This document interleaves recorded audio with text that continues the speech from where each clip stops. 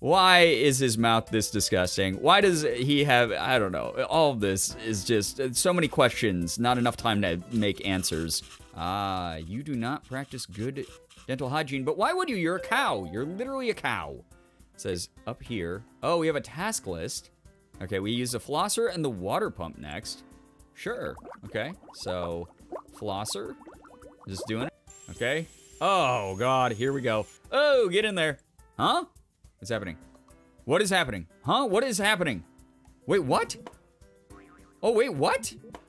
Oh, okay, we're gonna kill the cavity germs in his mouth. Wait, this one's not even in his mouth. That was unfair. That was like hide and seek with the cavity germs. okay. All right, now I have to put some some goop